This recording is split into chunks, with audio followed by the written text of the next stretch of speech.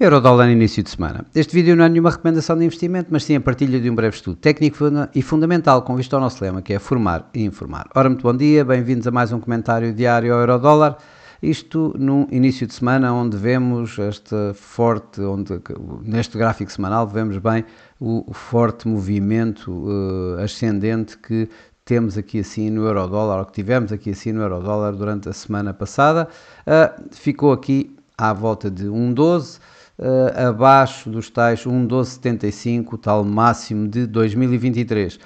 No, o RSI continua a dar um, um momento ascendente no par, aqui com 70 uh, de, de, de, o nível deste,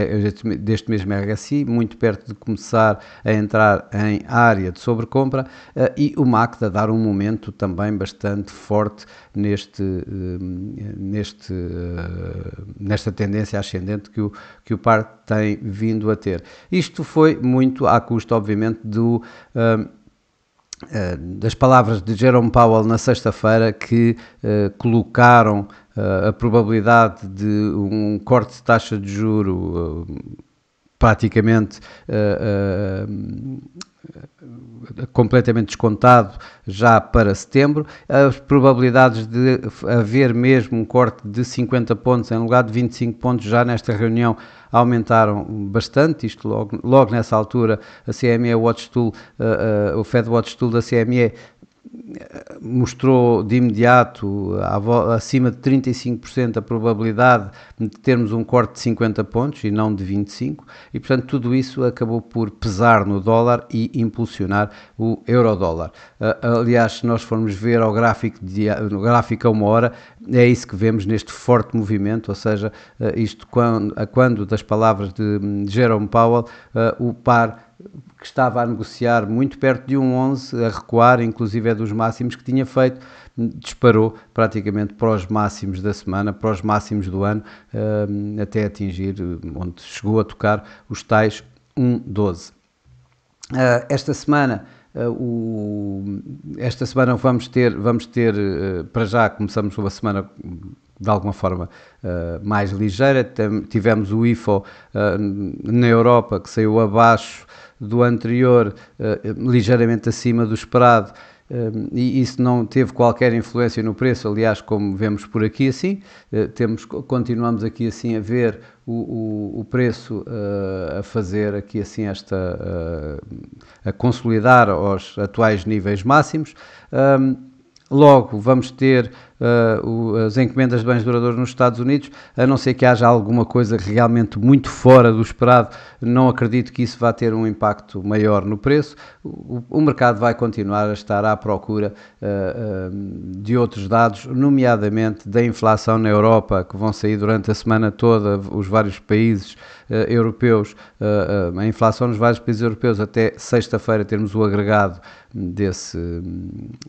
dessa inflação na zona euro e ao mesmo tempo, na mesma sexta-feira ainda, o Core PCE Price Index, ou seja, a medida preferida do Fed para a inflação. Portanto, eh, eh, eu acredito que exatamente por isso possamos ver alguma uh, consolidação do preço, como vemos aqui no gráfico diário e, e vemos bem uh, aqui assim quando vemos esta projeção Fibonacci que eu aqui tinha colocado já aqui há algum tempo, uh, estamos aqui perto de, de, dos, dos tais 161,8% Fibonacci, ainda não chegamos, isto ligeiramente acima de um 12, um 12,30 e pouco. Uh, mas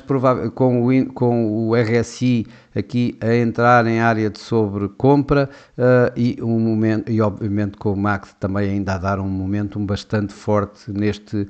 movimento ascendente do euro-dólar que aparentemente poderá continuar, uh, embora neste, neste de momento, nesta semana, poderemos assistir aqui assim a alguma consolidação ou mesmo a algum recuo, creio eu. Uh, no, mas isto é apenas a minha opinião, uh, não, é, não constitui nenhuma uh, recomendação de investimento. mas eu vejo, por exemplo, aqui no gráfico. no gráfico a 4 horas, em que tem uma tendência ascendente forte, vejo estes dois máximos a fazerem aqui assim este movimento uh, relativo ascendente, ou seja, este máximo acima do máximo anterior. E, no entanto, se eu projetar isso a nível do RSI, eu vejo aqui assim antes o contrário, ou seja, este máximo é mais alto do que este máximo aqui assim, que é um pouco mais baixo e portanto hum, aqui assim eu estou a ver uma pequena divergência entre o, o, o preço e o indicador. Isto poderá me dar uh, alguma indicação de que poderemos estar a assistir a alguma correção no, no, no par, em que poderemos ver aqui assim talvez alguma uh, um, algum recuo no preço ou, no mínimo, a consolidação durante mais tempo uh, do preço nestes níveis aqui à volta de um 12, ligeiramente abaixo de um 12, ou como eu digo mesmo, uma, uma, um,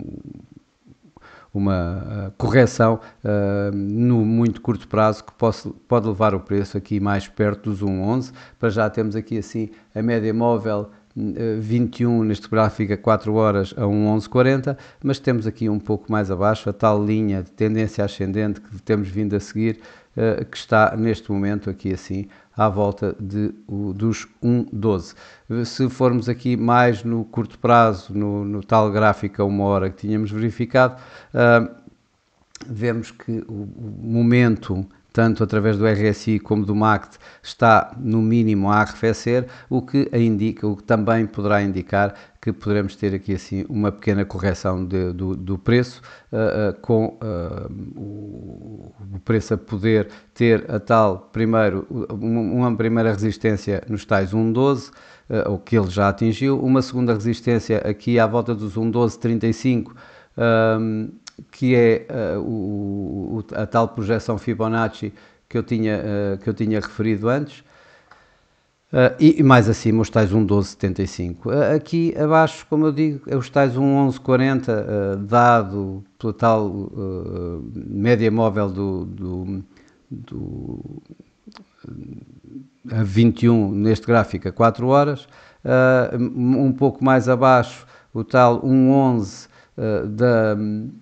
os tais 1.11 que também se encontram por aqui, uh, dado pela linha de tendência ascendente, e obviamente que se perder do 11, então vamos para outro tipo de, de, suportes, mas para já para o dia de hoje dificilmente isso acontecerá, tal como eu comecei por dizer, que vamos ter um dia relativamente mais calmo, ainda por cima com Londres fechado em, um, uh,